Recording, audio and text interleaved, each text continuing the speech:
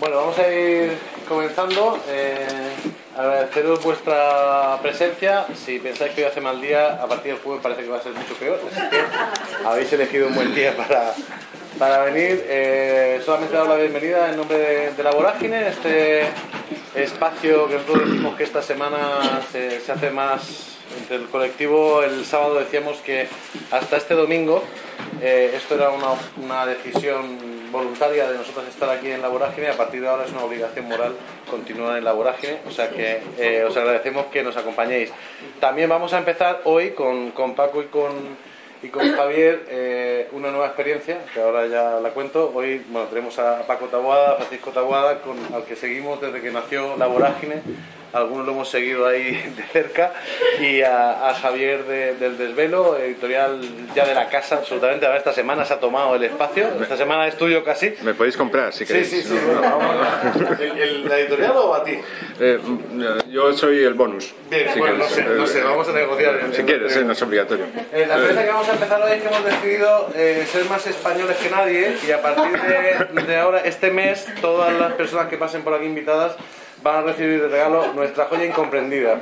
Esta es la ruina editorial de la vorágine, lo sacamos el año pasado, invertimos los pocos ahorros que teníamos, es una crítica maravillosa al concepto rancio, casposo de España, que os sonará que estos días ha tenido algún éxito. Es un eh, poema visual de Gonzalo Escarpa, es una joya. Entonces, Paco, mm, por fin España está en tus manos. Javi, a ti por, por, por tu continuidad, por, por, por insistencia. Me ha hecho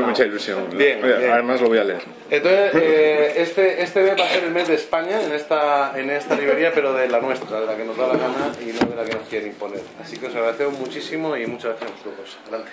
Muchas gracias.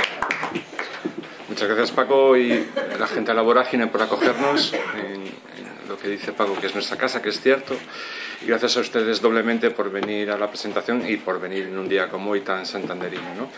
Eh, nosotros, bueno, creo que somos la primera presentación que se produce aquí después del nuevo gobierno y del posriverismo, así que estamos en un clima social y político bastante, bastante curioso, por decirlo de alguna manera. Eh, bueno, yo me llamo Javier, Javier Fernández, eh, soy editor, eh, tengo un proyecto que se llama El Desvelo Ediciones de hace 10 años. Hacemos eh, los tres géneros clásicos de literatura, eh, narrativa, poesía y ensayo. Hoy hemos venido aquí a presentar Jerónimo de los Paracaidistas, que ahora explicaré el, el sentido del título, que entra dentro de nuestra colección de narrativa. ¿no? A mi derecha está eh, Francisco Taboada. Francisco Taboada eh, es de Bilbao, pero reside en Santander desde hace bastante tiempo, en Cantabria. No, no lo he dicho con segundas, ¿eh? Nació en 1957, espero que tampoco te moleste que diga el dato. Es escritor y pedagogo, ha sido profesor de didáctica del pensamiento en la Universidad del País Vasco y también, y ahora viene una larga relación, albañil, viajante de comercio, encuestador, librero, restaurador de muebles, barman, cuidador de ancianos y una experiencia laboral variopinta que refleja con humor en su obra literaria, como la que traemos hoy aquí. Taboada es autor de los libros de poemas Garbanzos, publicado en 1979, Palabras dactilares, publicado en 2011, y Frontera de carne, publicado en 2015.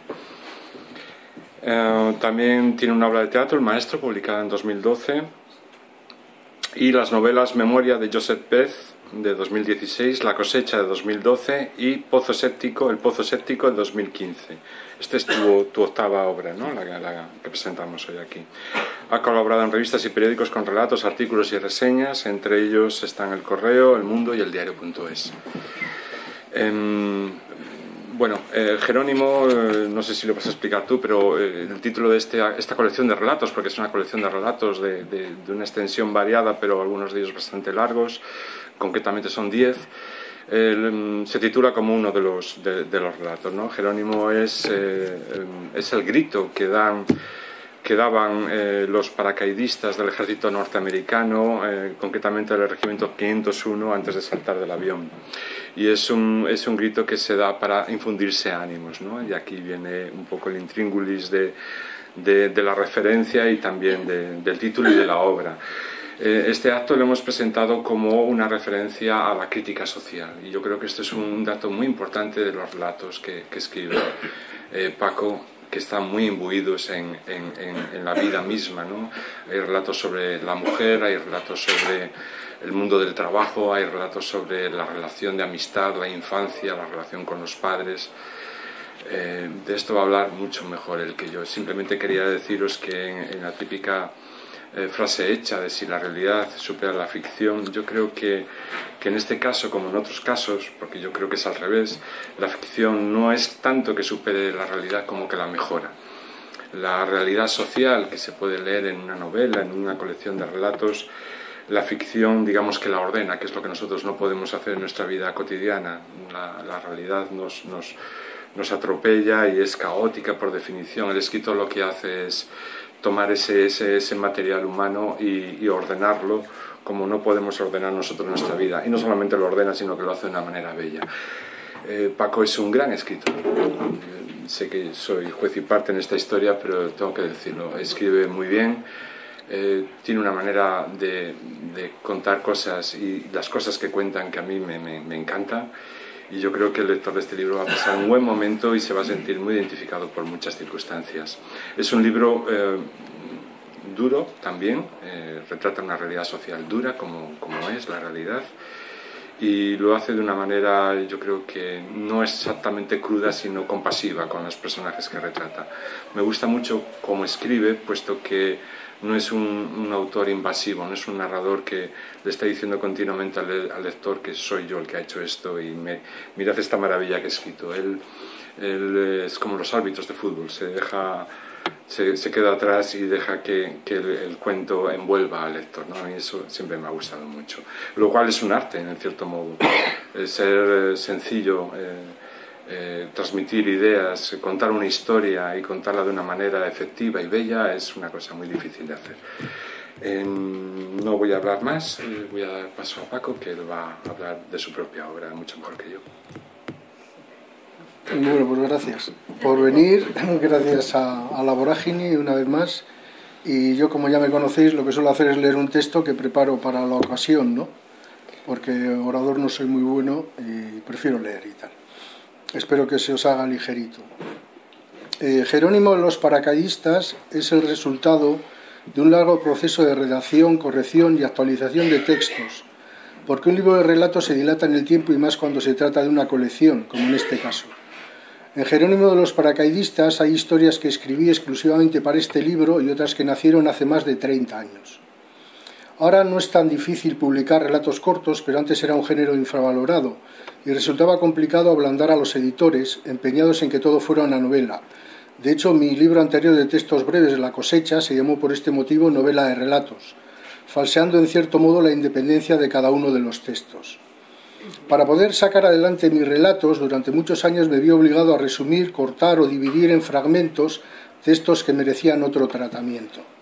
Fueron muchos los que se, los que se sacrificaron para poder publicarlo en medios de comunicación, revistas o periódicos donde por necesidad de espacio apenas podía meter un par de folios. De este modo fui llenando un archivo de ordenador que contenía cientos de relatos con varias versiones de cada uno, hasta que se convirtió en algo imposible de controlar. Para trasladarlos de un ordenador a otro cuando compraba uno nuevo, me acostumbré a agruparlos por materias, niños, mujeres, albañiles, viajantes de comercio. Hace varios años intenté reunirlos todos en una novela larga plagada de historias, pero fracasé porque estaba haciendo lo mismo de siempre, despreciar los textos, maltratarlos en busca de una unidad forzada. Hace dos años, en una revisión rutinaria, comprobé que muchas historias eran la misma pero vistas desde diferentes ángulos, y así surgió este libro. Fue algo natural, como si al final cada relato hubiera encontrado por afinidad su propio contenido. No se parece en nada a lo, que, he publicado con anterioridad. Hay menos ficción porque he querido desnudarme más. Supongo que es cosa de la edad o que ya no me quedan ganas de ocultar nada. Por este motivo el libro me retrata, y si tuviera que resumirlo en pocas palabras diría que Jerónimo de los Paracaidistas es un libro de relatos sencillo, lleno de cicatrices, moldeado por el tiempo. Mi mayor preocupación a la hora de corregirlo y ponerlo a punto para esta edición ha sido no interferir en unos textos que ya tenían vida propia, no machacarlos, dejarlos en paz, quitarme un poco de medio y no entorpecer su desarrollo. Ante todo he pretendido contar historias, narrar el presente y el pasado cercano de un modo claro y directo, huyendo de la retórica recreativa que con frecuencia enmascara la realidad y funciona como una trampa para el pensamiento. Nada del tipo la humanidad ya no tiene cura, el mal está demasiado extendido, hay que amputar, cauterizar y apañarnos con el muñón escaso que nos quede. O sea, eludir en todo momento lo depresivo, que paraliza la acción con frases alambicadas de filosofía barata, que son solo un puro entretenimiento de la mente, que solo consigue el reinicio desesperante y machacón del mismo sistema de valores palabras elevadas que no miran de frente a los problemas y solo sirven para el regodeo del escritor y que despistan a los lectores. Porque no hay que olvidar que vivimos malos tiempos. Me da la impresión de que últimamente todos hemos sido desplazados a la periferia de la realidad, centrifugados por ella, como si el mundo pudiera prescindir de nosotros. Es una sensación extraña e inquietante propia de la gente irrelevante que se siente invisible. Además parece como que estamos esperando algo. Ojalá yo supiera que estamos esperando. Si lo supiera, lo diría. Los personajes de mis relatos tampoco saben gran cosa. Apenas consiguen vivir, medio aturdidos, a la defensiva, huyendo hacia sí mismos porque no les queda otra alternativa. Corren hacia adelante porque correr hacia atrás es más complicado, se tropieza con más facilidad, y correr hacia el pasado no tiene sentido para ellos. El tiempo está de su parte si continúan en movimiento. Hacen cosas, dicen cosas, ni callan ni otorgan viven al pie de la, letra, de la letra, como decía Alejandra Pizarnik. Tenemos en primer lugar, y ahora os voy a hablar de los relatos, de los diez, tened un poquito de paciencia. Tenemos en primer lugar, abriendo el libro, a un niño pequeño que vive de su padre borracho y maltratador. Le pega del mismo modo que se pega a sí mismo, por desesperación, porque está fuera de quicio siempre, y el niño busca refugio en unos vecinos que no pueden ni quieren ayudarle. Todos tienen problemas propios que les impiden empatizar con los demás, viven demasiado pendientes de forjar la coraza que los protege a ellos.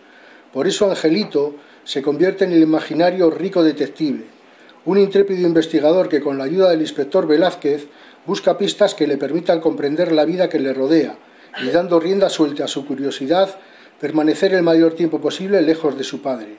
Tiene que madurar a marchas forzadas porque ya no puede permitirse el lujo de seguir siendo niño, no en esas circunstancias, aunque sospecha que ser mayor tampoco le va a facilitar las cosas. Vive al minuto, al segundo, con intensidad, esa es su redención, crecer interiormente para salvarse. Este relato habla del presente y de mi pasado. Siempre asociaré la infancia con la violencia. Cuando yo era niño los adultos nos pegaban constantemente, era una costumbre. Aunque en mi casa no me maltrataban, más bien lo contrario, tuve unos padres fabulosos, asistí a la escuela nacional, donde cantábamos a primera hora el cara al sol con el brazo levantado y los profesores fascistas nos morían a palos a la menor oportunidad, lo mismo que va a pasar dentro de poco. Había palizas, puñetazos, sangre y lágrimas suficientes para llenar una piscina. Huir de aquellos monstruos usando la imaginación era el único modo de sobrevivir. En mi clase de párvulos teníamos un único juguete, una caja de tacos de madera sacada de la carpintería del barrio. Era genial. Así resultaba facilísimo viajar a cualquier parte. Hacíamos castillos, fuertes del oeste, ciudades laberínticas, paisajes fantásticos donde nos desenvolvíamos con soltura. Con el paso de los años he visto cómo a los niños se les han ido arrebatando los recursos para desarrollar su imaginación, para defender el territorio de la infancia. Demasiados juguetes, demasiadas cosas y poca sustancia. Es como si les hubieran cortado las piernas y no pudieran correr. Soy pedagogo, vivo rodeado de maestros y educadores y se habla constantemente del aumento exponencial de trastornos infantiles graves, de que la escuela se ha convertido en un campo de batalla, de que esos niños acorralados estarán en el futuro demasiado aturdidos para reaccionar. Porque de eso se trata, de evitar desde la infancia que existan individuos con capacidad de respuesta. Como decía Baudrillard en Cultura y Simulacro, comparando esta sociedad con un gran parque de atracciones, decía, lo imaginario de Disneylandia no es ni verdadero ni falso, es un mecanismo de disuasión puesto en funcionamiento para regenerar a contrapelo la ficción de lo real degeneración de lo imaginario que traduce su irrealidad infantil. Semejante mundo se pretende infantil para hacer creer que los adultos están más allá, en el mundo real, y para esconder que el verdadero infantilismo está en todas partes, y es el infantilismo de los adultos que vienen a jugar a ser niños para convertir en ilusión su infantilismo real. Yo creo que la sociedad está fracasando con la infancia porque no ha logrado salir de ella, y los pretendidos adultos solo son niños malcrecidos a los que es facilísimo asustar. Con tanto miedo no puede haber un futuro que merezca la pena. Enrico Detective He intentado insertar el niño que yo fui en el presente actual, pero ese niño está extendido, es el personaje y también el narrador. Un narrador cómplice, que se cree la historia, que se ocupa de mantener al personaje en su ficción, que está de su parte. La imaginación desbordada que yo tenía entonces traspasada a una sociedad como la de ahora, tan compleja y acomplejada. Los paisajes de mi infancia en un mundo de tortugas acorazadas, con pies, manos y cabeza escondidas, retraídas y a la defensiva. Angelito no es así. Angelito aprende y actúe, es un héroe de tebeo. De hecho, el nombre de rico detective lo saqué de unos tebeos que yo tenía de niño, tebeos que no he encontrado por ninguna parte y tampoco Internet lo menciona, lo cual me tiene bastante intrigado. Parece como que no hubieran existido. El segundo relato, 98 baldosas, incide en el tema del primero, aunque en el mundo adulto y con un enfoque, diferente, con un enfoque diferente. Aquí el narrador es el protagonista, Quique, un albañil que trabaja con su hermano Rafael en un medio rural podrido de corrupción urbanística. Quique se protege de la realidad creando un mecanismo de defensa automático que se activa ante la inmoralidad. Lo que está bien y lo que está mal no son para él opciones del pensamiento, algo que resuelve en la mente, sino una reacción física, visceral, incontrolable, que le obliga a rechazar de plano lo que es a todas luces incorrecto. Sabe que la mierda se pega y cuanto más tiempo permanezca hundido en ella disminuyen sus posibilidades de sobrevivir. Mantener un mínimo de ética es imprescindible, no todo vale, por muy acosado que se encuentre. En otros tiempos Quique se defendió con violencia, violencia que se volvió en su contra, pero se ha ido sofisticando hasta encontrar en el alojamiento y el desapego una solución. En sus ratos libres Quique lee a Cormac McCarthy porque quiere distinguir entre lo bárbaro y lo salvaje. Para mí Quique es un símbolo, un prototipo del ser humano que se está fraguando en este medio hostil que habitamos. Un individuo al que ya no le sirven los argumentos, porque se le ha mentido, engañado y manipulado en exceso, lo que ocasiona un comportamiento de animal evolucionado que antes de saber reacciona, enseña las garras, advierte el ataque inminente para evitar el enfrentamiento directo. Una evolución lógica, pero con el peligro que representa, ya que también es una involución, un retroceso, un quiebro nocivo en la armonía social. Es uno de los temas que a mí más me preocupan. Cómo actuar desde el alejamiento, cómo ser parte de una comunidad sin permitir que el exceso de contacto con los demás me anule como individuo, cómo encontrar un equilibrio entre la necesaria soledad del escritor y la relación con los otros. Porque si bien el niño de rico detective tiene una parte de mí, el albañil de 98 baldosas soy yo. Esas manos son las mías y esa mala leche también. He trabajado 20 años como albañil y constructor. He vivido en medio de esa corrupción urbanística, viendo por todas partes esos tejemanejes, todo ese dinero flotando en el balde de mierda en que se ha convertido este país.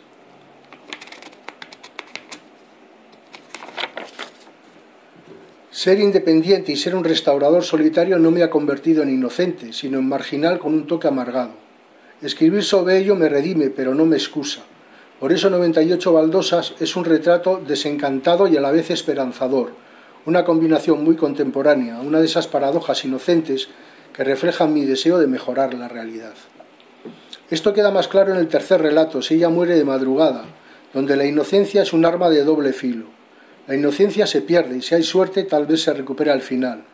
En este relato encontramos un hombre con mucha historia a sus espaldas, un anciano octogenario rodeado de parientes, hijas, yernos, nietos y bisnietos, que tiene que desenvolverse en medio de una situación dramática. Su mujer acaba de morir después de una larga enfermedad. Los últimos años los vivieron los dos alejados del mundo, y al regresar a la sociedad, solo y sin ella, comprende que el mundo ha cambiado y la conclusión más evidente es que la gente está cada vez peor de los nervios. Todo el mundo se atiborra pastillas, parecen crispados, desencajados y enloquecidos. Mientras él entierra a su mujer, parece estar asistiendo al entierro de la sociedad al completo. Todo se descompone a su alrededor y el único alivio que le queda para comprenderlo, los libros de, su vasta biblioteca, ya no le sirven porque apenas consigue leer. Viene en su ayuda su bisnieto, un chaval que necesita dar el salto final que lo saque de una infancia sobreprotegida y establece con él, gracias al afecto, una alianza que nunca tuvo con sus hijas ni con sus nietos. Esa conexión une a dos generaciones tan distantes en, en busca de la claridad de objetivos perdida. Lo humano es aquí una esperanza incuestionable. Si ella muere de madrugada, habla con humor y cariño el desamparo de los ancianos ante la vida que los desborda y los supera. Su tiempo ha pasado, lo único que les queda por hacer es mirar, contemplar la existencia humana con perspectiva y despedirse. pero existen diferentes modos de mirar y también de marcharse. Joaquín, el personaje principal, siempre ha sido un hombre pasivo, retraído, pero ahora encontrará una manera de hacer productiva la alianza con su bisnieto. Los dos se parecen y debajo de su apatía esconden la valentía suficiente para tomar las riendas de su vida. No se resignan, pelean, están vivos. Al principio son personajes planos y sin relieve, pero gracias a un impulso interior se dimensionan, crecen, adquieren entidad propia y se diferencian del grupo.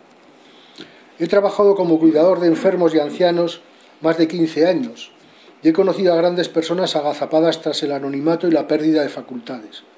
Cuidé durante dos años a un hemipléjico que sufrió un derrame fatal en el que estirparon una cuarta parte del cerebro. No hablaba, solo decía sí, no y pequeñas cosas.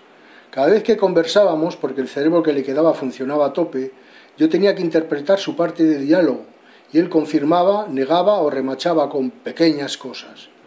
En una ocasión hablamos toda la tarde sobre los siete pilares de la sabiduría de Laures de Arabia y comprobé que sus reflexiones sobre el libro eran más profundas que las mías.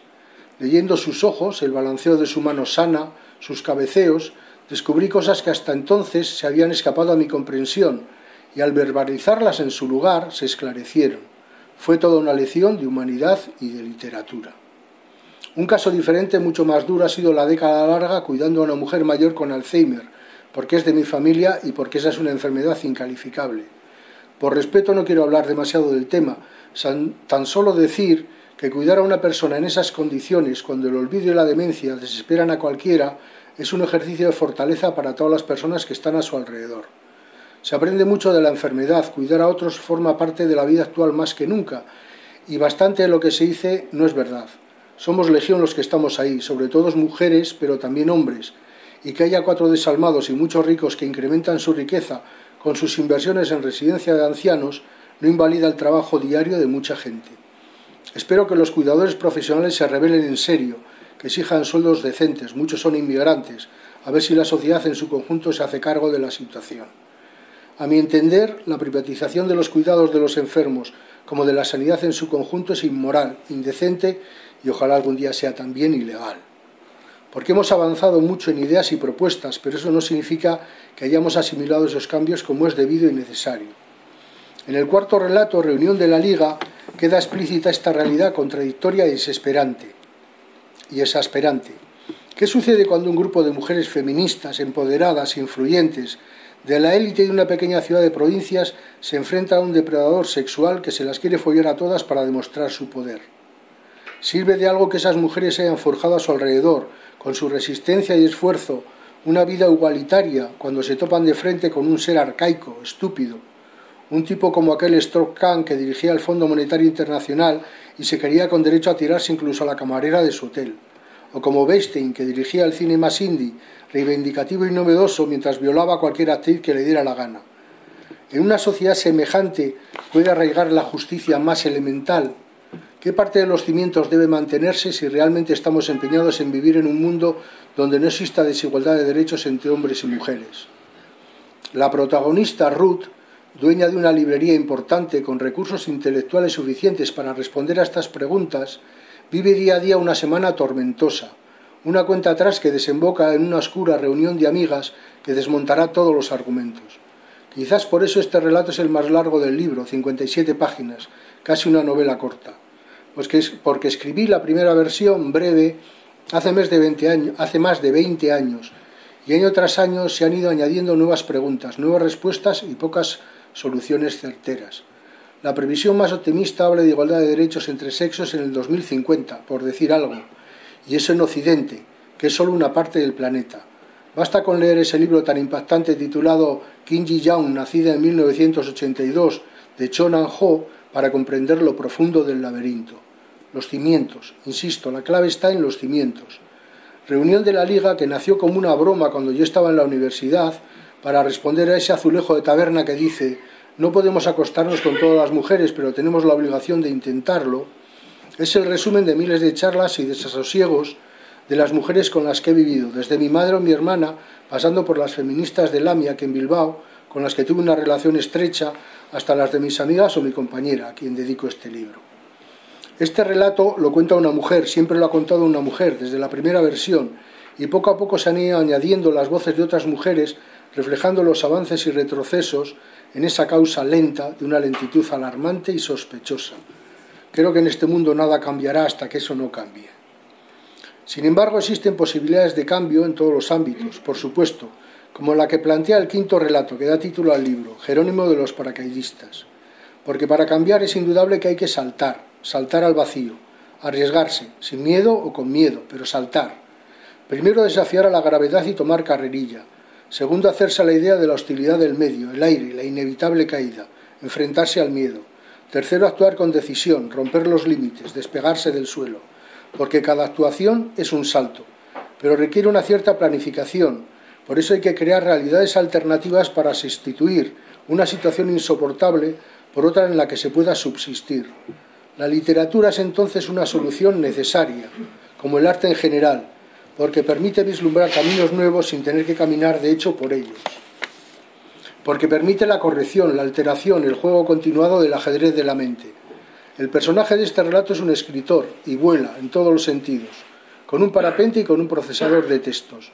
Lleva toda la vida saltando, perfeccionando su habilidad para enfrentarse al vacío, cometiendo todos los errores menos dejarse atrapar como el indio Jerónimo, un, chamán apache que prefirió saltar a dejar que lo atraparan, y cuando lo atraparon ya era tarde porque se había convertido en leyenda. Por eso invocamos su nombre al saltar, para que se abra el paracaídas y para avisarle de que vamos si todo falla. En cierta ocasión yo tuve que gritar Jerónimo y sucedieron ambas cosas. Me salvé y me hice pedazos. Jerónimo de los paracaidistas cuenta una parte de mi vida, aunque no lo calificaría de autoficción o autobiografía, porque va más lejos.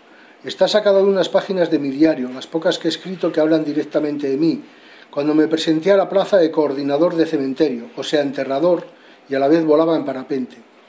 Es curioso, pero el 95% de este relato es cierto. Sucedió como lo cuento, y nunca he escrito una ficción que lo sea tanto. Mi vida es más ficción que lo imaginado, gracias a vivir en un país que quizás sea también más ficticio que real, por desgracia, para sus habitantes. Quizás por ello, por si acaso, los nombres reales y el lugar de los hechos los he cambiado. Todo sucede en un pueblo llamado San Jorge, con resonancia República Bananera. Es un relato complejo que incluye partes de un guion televisivo y todo se enreda para así reflejar la turbidez de esa historia que por desgracia tuve que vivir y que me marcó más de lo que hubiera deseado. Para no implicarme en exceso, ya que en primera persona no era capaz de contarlo bien, recordando lo que dijo Oscar Wilde, el hombre está más alejado de sí mismo cuando habla a cara descubierta. Darle una máscara y os dirá la verdad. Decidí que el narrador involuntario fuera mi hermano, testigo de algunos de los momentos más significativos de esta historia. Yo no sabía entonces, cuando salté, que hay varias formas de romperse las piernas. Por eso es necesario recordar que los caminos alternativos a veces conducen al desvarío y la locura. Ese es el riesgo. En el sexto relato, Pastor Belga, un psiquiatra, atrapado en su afán por analizarlo todo, con los bolsillos bien llenos por la medicina privada, no es capaz de, de enfrentarse a un simple espejo. Vive entre ricos, anestesiando a los ricos, jugando con los ricos, obedeciendo la voz de su amo. Poco a poco ha perdido el interés por su profesión y su existencia es motivo de risa. Vive desilusionado, esperando que el amor lo redima. Pero el amor no es una estrategia. No puede ser racionalizado. Vive en el tiempo pero fuera del tiempo. El estrés, la prisa, el remolino de la vida lo arrastra todo al menor descuido el exceso de ambición produce un desequilibrio que puede truncar el mejor de los proyectos. Puede acabar incluso con el amor. El amor tampoco es un antídoto contra la vida. Un perro, por puro instinto, sabe más, sabe más sobre el amor de lo que este psiquiatra ha logrado comprender. Quizás si permite que la duda sustituya la certeza, entonces el amor sí puede ser una estrategia. El amor puede ser el antídoto contra la vida simulada, el amor puede ser la clave para dominar el tiempo. En este relato he procurado que la realidad pierda el asidero, que todo se cuestione en el interior de una clase social acomodada, que lo tiene casi todo menos serenidad. Tampoco ellos se libran del remolino que lo arrastra todo, de la vida endeble, de una existencia a la deriva. Viven en una representación permanente, en el teatro cerrado donde todo depende de la imagen, de la esclavitud de tener que fingir que siguen en pie, pero la demolición es completa, afecta a todo el paisaje humano y no da tregua a nadie. Pastor belga habla de lo cerrada que es esta trampa, esta trampa en la que se quiere encerrar a los demás, pero como requiere vigilancia para verificar su correcto funcionamiento, acaba atrapando al que la creó. De aquí no sale nadie, ni víctimas ni verdugos. El amor puede ser la llave, siempre que alguien encuentre la cerradura. En el séptimo relato, Extraña pareja de baile, encontramos una salida posible, la salida metafísica, el último recurso. En él un poeta arriesgado que lleva más de tres décadas sin rumbo, buscando a través de las drogas cruzar las legendarias puertas de la percepción, tropieza por fin con la horma de su zapato.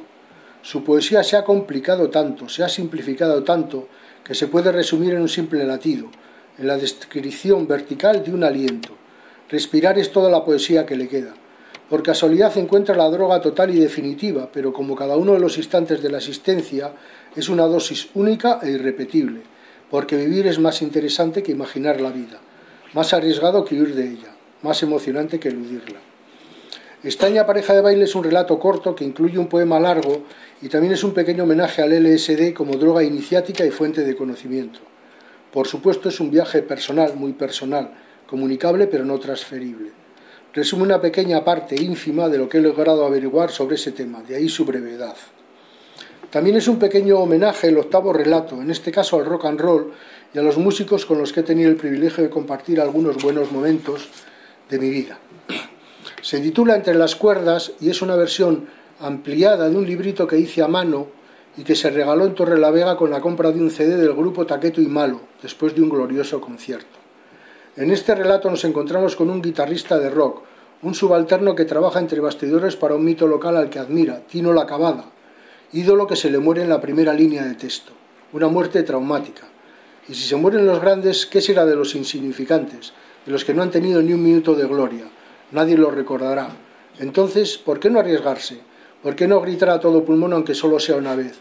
¿Por qué no darle fuego a la guitarra como hizo Jimi Hendrix en Monterrey? ¿Por qué no tocar un solo de guitarra que hable de ti, que te signifique, que diga yo soy?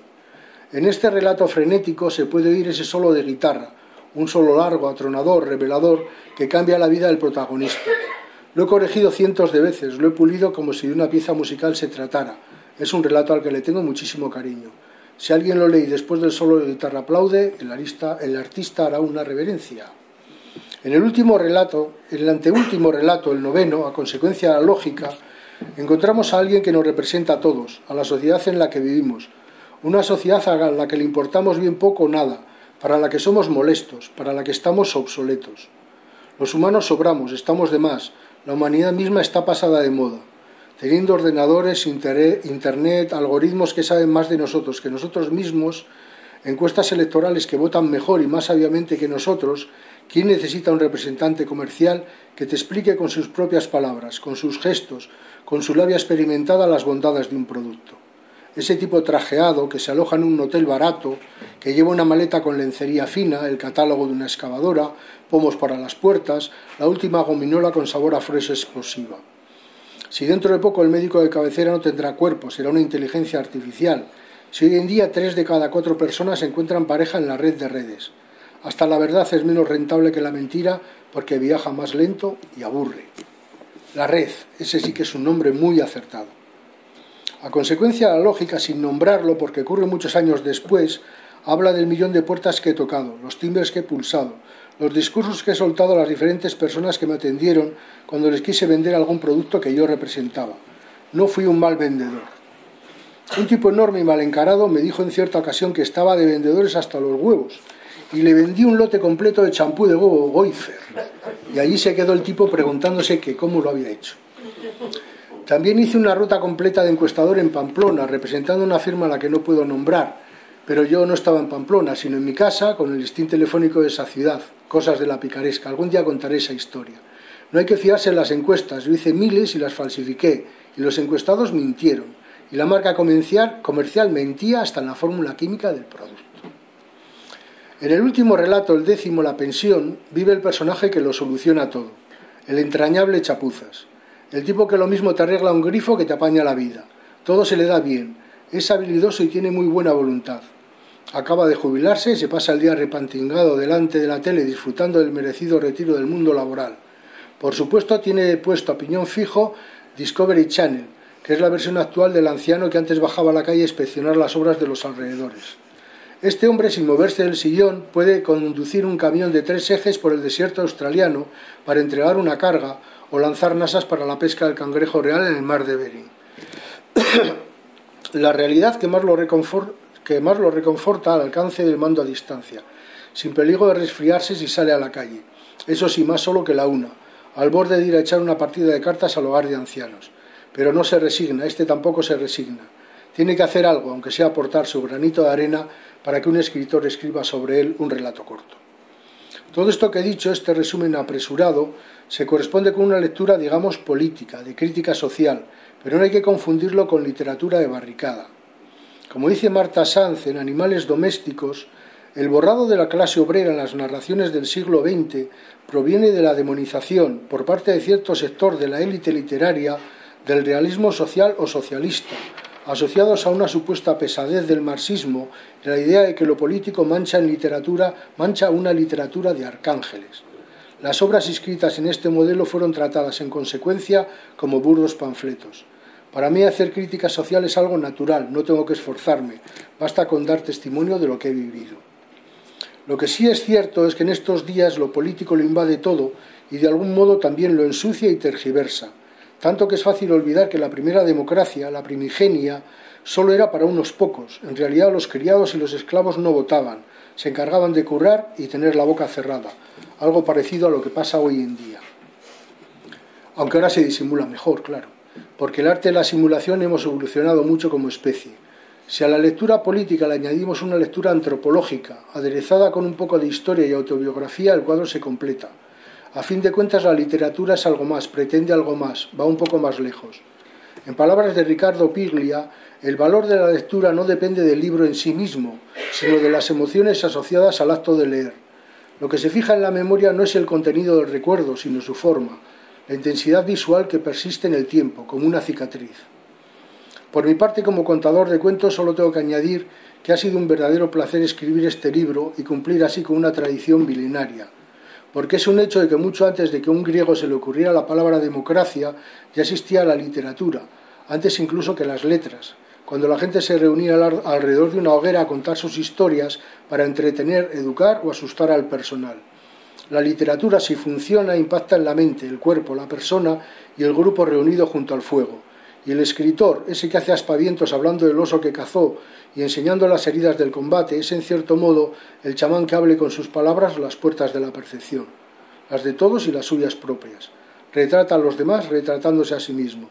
Jerónimo de los paracaidistas es por tanto parte de mi vida y de la vida de la gente que me rodea. Me gustaría, por supuesto, que a las personas que lo lean no les deje indiferentes. Querrían que lloren, que maldigan y que disfruten. Gracias por escucharme.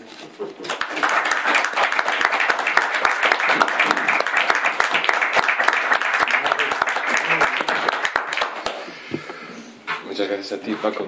Eh, la verdad es que he estado tomando notas y me ha llamado mucho la atención un par de cosillas que has dicho. Bueno, pueden ustedes intervenir cuando quieran. ¿eh?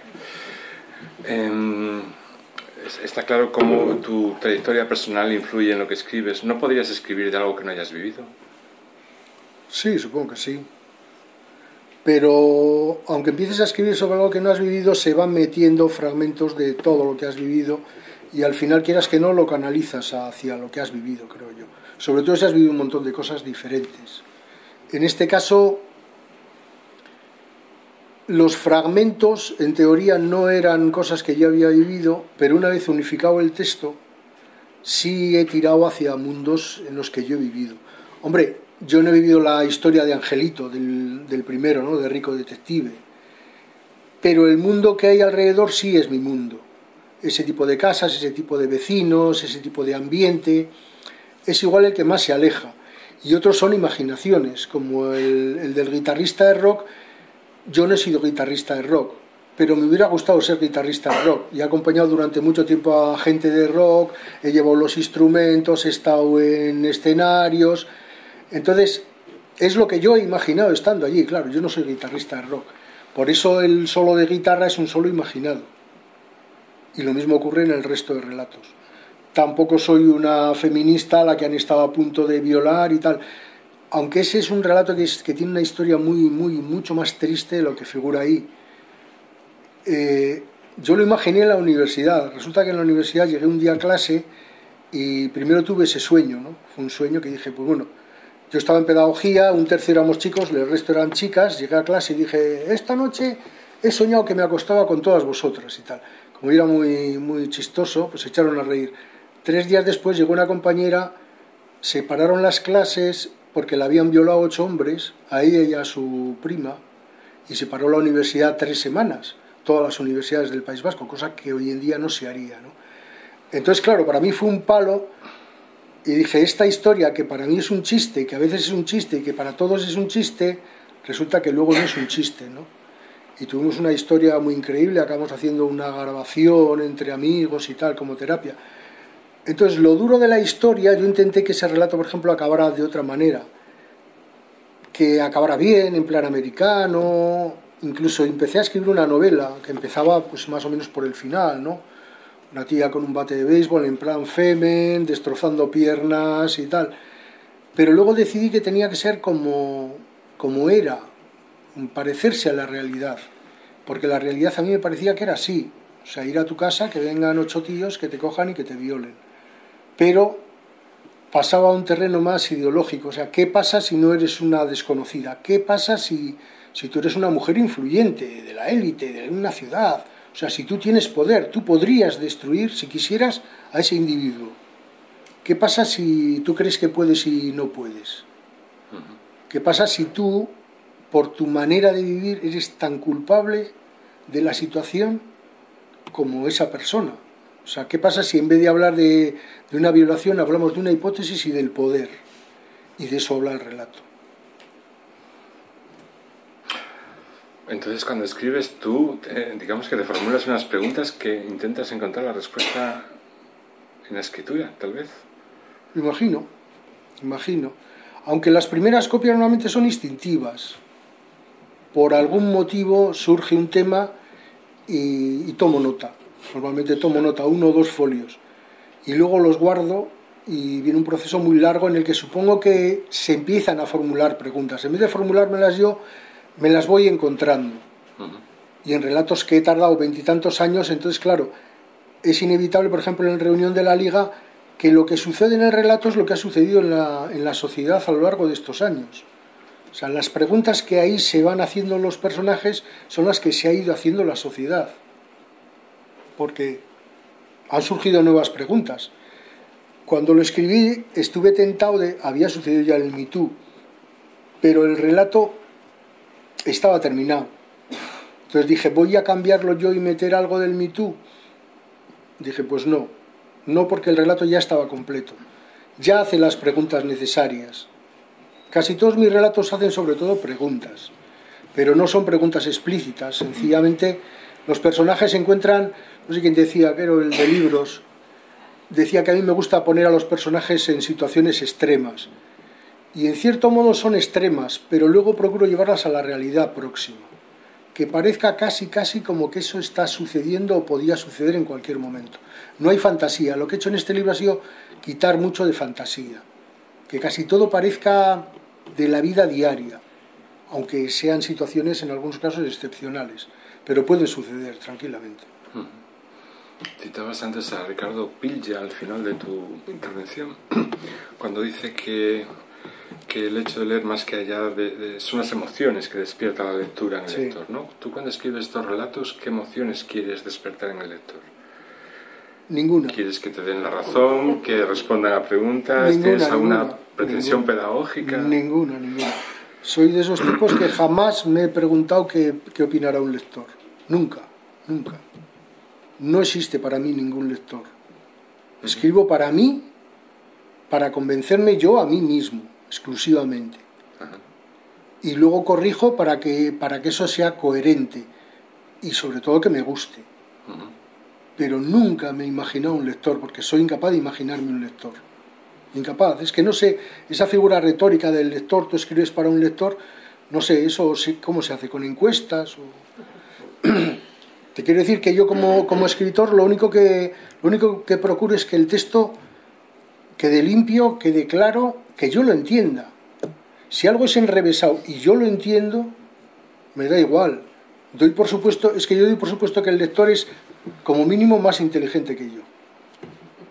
Nunca escribo para alguien que explicarle las cosas a alguien como si fuera tonto. Siempre doy por supuesto que el, lector tiene que ser más inteligente que yo. Tiene que pillarlas a, la primera.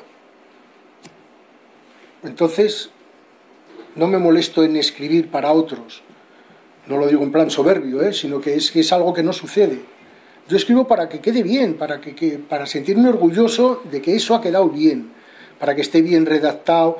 Y normalmente lo que hago es leerlo en alto. Leerlo en alto. Mi literatura tiene algo de oral. Yo necesito leerlo en alto para saber si me tropiezo con algo, si alguna cosa no encaja, si las... Tiene que haber un ritmo interno. Igual por eso escribo poesía, ¿no? Porque para mí la musicalidad es necesaria. Pero el lector, es que, es que no, no, es que no he sido nunca capaz de concebir qué es un lector, o qué es eso de agradar al lector, o, tal. Es que no lo sé. Pero tú eres lector también. Yo soy lector, Te pones al otro lado del mostrador y... Lo escribo yo y luego se lo paso a Paula, pero no pienso nunca qué pensará Paula. Pero ella te lo dirá seguramente. Claro, eh, cuando ella me lo dice, cuando ella me lo dice, entonces ya es un lector que está fuera de mí. Entonces ya es, Paula es el primer lector. Bueno, el primer lector soy yo, pero yo no soy consciente de los errores que pueda tener un texto. Cuando ella lo lee, ya es el primer lector, entonces ella lo que me dice son las, los fallos o las cosas que ve que no le gustan o tal. Entonces yo hago una reflexión posterior. Pero ya en ese momento el texto ya está hecho. Ya es la fase de corrección del texto, que es evidentemente muchísimo más larga que la de redacción, claro. La redacción es corta, la corrección es larguísima. O sea, la primera versión de alguno de estos tiene 20 años y he conservado prácticamente el texto. Y luego las correcciones, quito y quito y quito, casi todo es quitar y buscando la claridad. Es un poco doloroso porque a veces una historia que te gusta mucho la tienes que cortar por la mitad y tirarla a la basura. Lo que yo no hago es quitarla a la basura, la meto en un recuadro, la pongo en un archivo, le pongo otro título por si algún día me sirve para algo y continúo adelante. Ahora, en el momento que estoy haciendo este libro me ha gustado mucho escribirlo porque lo que he dicho al principio, los relatos tenían su propio espíritu. Entonces, todo lo que yo ponía, yo hacía una lista de, de, relatos que tenía que quería meter ahí. Y todo se ha sacrificado al propio relato, como si tuviera el propio relato un espíritu interno que ha ido barriendo con los textos. Entonces, si se encontraba con un texto y ese texto no encajaba, lo retiraba y seguía adelante, seguía adelante, como si alguien me lo estuviera contando a mí, quizás porque me lo sabía de memoria en la mayoría de los casos. Muchos se publicaron fragmentos de uno o dos folios en la revista Cantárida, otros se publicaron en la revista Luque, y esos textos la ventaja es que ya estaban corregidos, ya estaban editados, ya habían sido publicados, entonces no, no, era, no era tan difícil encajar textos ya tan puros si encajaban, pero ¿y si no encajaban? coger y retirar. Y espero sacar en el futuro otro libro que tiene fragmentos que han quedado fuera de historias de aquí y de historias nuevas. Ah, ¿Los tiempos que vivimos te dan pie para escribir más cosas? O los que vivimos y los que vienen. Los que vienen van a ser peores, no creo. No creo, no creo, no creo. Yo comentaba estos días, ya hablando de la, de la actualidad, que ahora los, los piraos estos de Vox se enfrentan a, al muro de... También ellos se enfrentan a la realidad, ¿no? A pensar que ahora vamos a hacer y vamos a hacer y vamos a hacer y se van a pegar con un muro en el que esto no puedes hacer, no puedes hacer, no puedes hacer, no puedes hacer, igual no puedes hacer nada. Igual se consigue echarlos dentro de cuatro años, como en Grecia, ¿no? Pero esas cosas a mí no me, me interesa mucho más si eso afecta en la calle y yo lo que veo en la calle, en la calle o en la gente, o lo que vea en un vecino, o lo que yo imagine, porque normalmente paso de mucho tiempo leyendo, y cuando estoy leyendo siempre, siempre hay huecos, cosas que me gustaría que estuvieran ahí escritas, pero no están, y si no están, entonces yo tomo nota y empiezo a escribir un relato, para rellenar lo que no, lo que no he encontrado. Y en la realidad lo mismo, pero eso te surge en cualquier momento. Estás viendo el telediario o cualquier cosa y te surge una idea. pero yo no me suelo centrar en la política, no me interesa demasiado la política, esa política, interesa más la gente. Entonces, si eso le hace algo a la gente, pues bien. Si salgo a la calle y hay una manifestación de gente que está apedreando a alguien, pues igual escribo el relato desde el apedreado o igual escribo desde el que apedrea. Eso no lo puedo escoger. Pero el proceso es muy largo. Y al ser tan largo, te da tiempo para cambiar. A veces escribo desde un lado, desde el otro. Hasta que hay un momento en que normalmente surgen unas ocho o nueve frases que tienen vida propia. Son como, como, como un poema. Salen ocho o nueve frases que ya no las puedo mover y se repiten. Y al de un mes, ¿y por qué no sigues? Y al de otro mes, ¿y por qué no sigues? Y entonces sigo. Es el propio texto, la materia del texto la que me hace continuar. En eso, eso es la literatura. ¿no? No, no solo son las historias, me interesa mucho que el texto tenga, tenga algo, algo diferente. Normalmente un título y un buen principio o, o, un párrafo que está a mitad de texto, que es lo que me va tirando, lo que me va tirando, lo que me va tirando.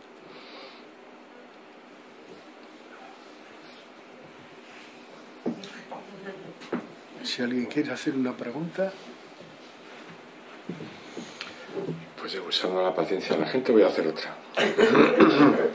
¿Y tú crees que la literatura vale para algo? Quiero decir, eh, puede tener, más allá de la satisfacción o el impulso propio de escribir y la necesidad casi fisiológica de, echar, de contar una historia, ¿puede tener algún efecto en la sociedad? ¿En la sociedad? Sí, hablo de una utilidad social. Sí. La sociedad no sería lo que es sin literatura, probablemente. Que podría ser peor, dices. Es que no creo que pueda existir la sociedad sin literatura. Mucha gente vive ajena a ella. Va, que no lean libros no significa que no exista la literatura en la sociedad. Toda la sociedad es un relato de la propia sociedad. La sociedad se cuenta a sí misma por su manera de vivir. Entonces no tiene por qué estar en un libro. Tú estás en un bar y el tipo que te está contando algo está haciendo literatura.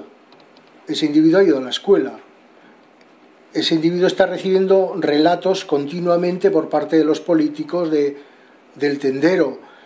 Es que si no hubiera literatura la gente sería tonta. La gente no tendría cerebro. Literatura es todo. El asunto es que esa literatura que está fuera, luego hay gente que la condensa y la mete en libros. Pero literatura es absolutamente todo. Un edificio es literatura, la calle es literatura. Se ha llegado ahí gracias a la literatura. Lo que pasa que tendemos la tendencia a decir literatura es lo que hay en los libros, que va, literatura es todo. Los libros lo único que hacen es recoger parte de la literatura que ya existe en la vida. Entonces, un, escritor lo único que es es un tipo que está atento, está atento. Las frases que metes aquí, tú no te das cuenta, pero las has oído. Las has oído en la calle, a la tendera, a un político, las has leído en otros libros, y esos otros libros existen porque hubo otros libros. O sea, realmente todos venimos de un... La literatura existe desde que existe el ser humano, creo yo, porque literatura es eso. O sea, antes de que existieran las letras y un tipo contando, el primer tipo que se juntó con otro allí, con un oso, y empezó a decirle algo, inventó la literatura, con la manera de contarle al otro. ¿Por qué el otro le iba a hacer caso? A ver. O sea, yo he cazado un oso y yo, y yo he cazado un oso y yo he cazado un oso y yo he cazado un oso. Pero aquel resulta que no había cazado un oso y les contaba a todos cómo se cazaba un oso mejor que los demás. Y muchos entendían qué era cazar un oso cuando lo contaba aquel. ¿Por qué? Pues porque siempre ha habido uno entre el grupo que lo hacía mejor. Ese es el que inventó la literatura, el primero que, que decidió contar una historia y cuando la historia empezó a tener entidad, creó la realidad. Porque los demás, cuando salieron a cazar al siguiente oso, tenían en la cabeza esa historia. Y eso es la literatura. Para mí, vamos, todo es literatura. Muy bien. Pues después de esta experiencia con osos y antropología y la importancia de la narración en nuestras vidas, yo creo que podríamos, si alguien quiere preguntar algo. Bueno, me extraña mucho que no piensas en lector. que eres tan eh, perfeccionista de cambiar, de cambiar, y piensas, claro, una cosa, no sé si me explico, me extraña mucho que no piensas en lector, porque yo, por ejemplo, escribo poco, pero no lo pongo a la venta, escribo para mí y pienso en mí porque es como un poco relato de mi vida, ¿no? Y soy, es mi intimidad, ¿eh? Pero un poco me choca, ¿eh? Me choca lo que acabas de decir. Que no piensas en nosotros los que vamos a leer, que es como para ti mismo, ¿no? Y sin embargo lo perfeccionas, lo trabajas mucho, lo cambias, lo... Para que esté bien. Sí, Nada pero- más, para que a mí me parezca que está sí, sí, bien. Sí, sí, sí, no, yo solamente digo que me parece muy bien, que comparto, pero que me extraña un poco, ¿no? No pienso en el lector en ese sentido, en el sentido de que a ver cómo alguien entenderá esto, a ver si alguien eh, seguirá esta línea que yo he marcado. En ese sentido es en el que yo no lo pienso. Solo pienso en, en el primer lector que soy yo. Sí, sí, sí, sí, sí. Entonces, yo no soy los demás lectores. Pero te interesa transmitir todo lo que has vivido tú, no te gusta que sepan los demás tu historia. Sí, eso sí, para eso publico Claro, libros. eso. Pero a la hora de hacerlo no estoy pensando en eso. Vale, No estoy pensando en eso. Como gente, en el sentido de los que piensan en los lectores, como ahora voy a meter aquí una descripción porque creo que así engancharé mejor a los lectores. vale, vale. Ahora voy a meter aquí una escena de sexo como muchos cineastas, porque eso hace que Bueno, bueno, ahora voy más bien a la contra que de lo eso. haces de corazón, que lo que piensas al momento, no pensando lo que van a pensar los demás. Sí, sí, no hay una, no hay un- una reflexión más allá de, de- no hay cálculo. no, no hay cálculo. Ahora No hay cálculo, no, no calculo si eso voy a llegar mejor o peor, sino yo me voy a convencer a mí mismo mejor. O sea, yo soy el objetivo final. Si yo me convenzo a mí mismo, doy por supuesto que, que hay personas como yo, pero primero me ocupo de mí mismo, creo que, y muchos, muchos escritores dicen esto, que, que el lector, ese lector es una idea de bestseller. O sea, voy a conseguir más lectores si hago esto, esto, esto y esto. A mí me da exactamente igual. En total no voy a conseguir muchos lectores. Espero que sí. Te, te quiero decir, te quiero decir que cuando tenía, cuando tenía 20 años igual me preocupaba, porque yo empecé a publicar a los cincuenta y tantos. Tenía muchos libros escritos, entonces esos libros solo los leían pues 20 amigos. Entonces tampoco escribía para mis 20 amigos, escribía sin más. Entonces igual el que ha empezado a los 20 años y tiene que ganarse las lentejas con ello y tiene que sacar otro libro, se dejará arrastrar por lo que le dice el editor, porque alguien, oye, es que metes pocas escenas de esto, te preocupas poco de esto, haces poco análisis. Entonces que siempre he escrito para mí. Entonces, ¿qué, qué, qué voy a conseguir con eso? Creo que sería negativo pensar en qué va a pensar otro. Yo soy más, más duro. Entonces, pensar qué voy a pensar yo es mucho más interesante. Para mí, vamos. Pero en el fondo, Paco, la literatura, esa literatura de la que hablabas tú, no la de los libros, sino la literatura de la calle, no nos influencia mutuamente, es decir, no estamos el lector y el escritor, si se puede hablar así, influenciándonos, es decir, lo que tú has escrito no, no deja de ser eh, una influencia de todo lo que has vivido, es decir, los otros narradores, que son tus amigos, eh, las personas con las que has trabajado, no han hecho de alguna manera que ese libro sea así y no de otra manera. Sí, claro, claro. Y yo he recogido esas voces. Pero al recoger yo esas voces y meterlas en el libro, el tema es que yo no estoy pensando ni tan siquiera en quién me lo contó. O sea, si yo recuerdo cómo contaba una vecina que cada vez que venía a la puerta se ponía a hilar, eso ha quedado en mi, en mi cabeza. O sea, cómo esta mujer lleva media hora aquí delante de la puerta y no me suelta y sigue hablando y sigue hablando. Entonces has cogido el mecanismo y luego tú puedes utilizar inconscientemente ese mecanismo. Ahora, ¿te llegas tú a imaginar que estás delante de una puerta y el lector es el que está dentro y tú le estás soltando ese rollazo? No, no Claro, creo. pero precisamente por eso esa sutilidad es lo mejor, ¿no? Es decir, nos estamos influenciando Sí, sin claro. pensar que lo hagamos. Lo que tú escribas ahí también al lector Claro, claro, le claro. va a dejar un pozo y le va a dejar, le va a hacer reflexionar sobre ciertos temas. Sí, sí, eso sí. No es que yo desprecie al, al que lee, para nada. Digo que esa no es mi preocupación a la hora de escribir.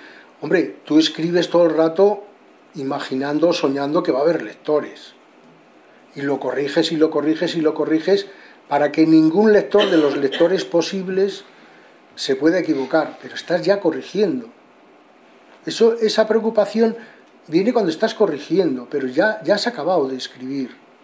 O sea, ya estás en las últimas correcciones. Pues alguien podría pensar que esto que digo yo, o podía herir a alguien si yo dijera esto alguna vez, pero es que ya el relato ya ha sucedido, ya la historia ya está montada, está acabada, está... Hombre, sí intento no ser demasiado grosero, demasiado bruto, demasiado animal, pero es porque en la vida también procuro hacer eso, porque tengo tendencias a ser un poco bruto y tal, ¿no? Pero como preocupación no. Bueno, a mí me queda un poco la tranquilidad de que efectivamente la literatura sí que sirve a la postre para algo, es decir, que, es que sí que, que, podría ser peor este mundo en el que vivimos sí. si no fuera por la literatura. Tengo esa... Eso fijo. Sí. Y el arte en general, vamos. Pero la literatura en particular, decía uno que es, que es lo único que no está en la naturaleza. O sea, la música está en la naturaleza, la escultura está en la naturaleza. Nosotros somos porque somos palabras. Y desde el momento en que empezó a haber cinco o seis palabras, la recombinación de esas cinco o seis palabras ya nació la literatura. Entonces es lo único netamente humano, así por encima, ¿eh? porque la música influye, la escultura influye, todo influye en, un libro si es bueno, todo el arte en general, porque tú estás todo, continuamente absorbiendo eso. Ahora yo tengo respeto por la gente, claro, por supuesto, porque escribo para que para la gente. O sea, no tiene sentido un tipo que se pone allí a hablar a... No hay nadie alrededor del fuego y se pone a contar lo del oso. Se para y dice, soy tonto. O sea, aquí no hay gente. Yo no puedo contar lo del oso si no hay gente. Entonces, claro, esa gente existe. O vienen los osos y te comen, ¿no? O sea, la gente sí es importante, claro que sí. La gente me influye a mí y yo se lo devuelvo. Yo lo que hago es devolver lo que a mí me han dado previamente. O sea, yo no imagino demasiado. Es sencillamente te dan, recibes, haces una nueva recombinación y luego lo ofreces. Yo de cada 10 horas, 9 me las paso leyendo. O sea, escribo una de cada 10. El resto es leer y leer y leer y leer coger combinaciones, formulaciones, maneras de hacer, historias, y luego tú lo que haces es cra, cra, cra, haces una nueva combinación y cuando crees que tienes una nueva combinación, entonces escribes lo tuyo, pero siendo consciente de que poquito vas a dar tú con todos los libros que hay, por Dios. Hay miles y miles y miles. Está bien, yo creo que este, este libro me gusta más que otros porque me noto yo, me noto yo, o sea, me noto que esto no lo podía haber escrito otro que yo, aunque sea sencillo y tal. Entonces me noto opaco. Si me noto opaco, entonces sí estoy transmitiendo mi combinación. O sea, esa combinación otro no la puede hacer. La he hecho yo. Entonces, eso es lo único que yo tengo que aportar. El recombinado. Ahora, las ideas pues, están ya machacadísimas.